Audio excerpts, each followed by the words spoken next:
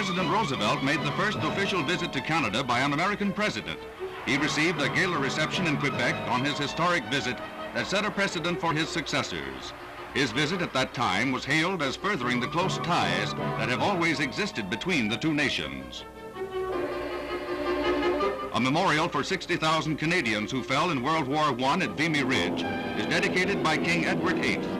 A few months later, he was to give up his throne for the woman he loved and become the Duke of Windsor.